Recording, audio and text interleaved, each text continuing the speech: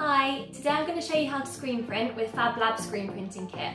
Let's see what's inside. We've got a screen and a base, 10 stencils, all different designs, some gloves to make sure your hands don't get too dirty, elastic band, a paint stirrer, squeegee, and three different paints. We've got yellow, blue and pink, my favourite. I will show you how to create cool designs on this hoodie and backpack, but you can use any other items and designs with them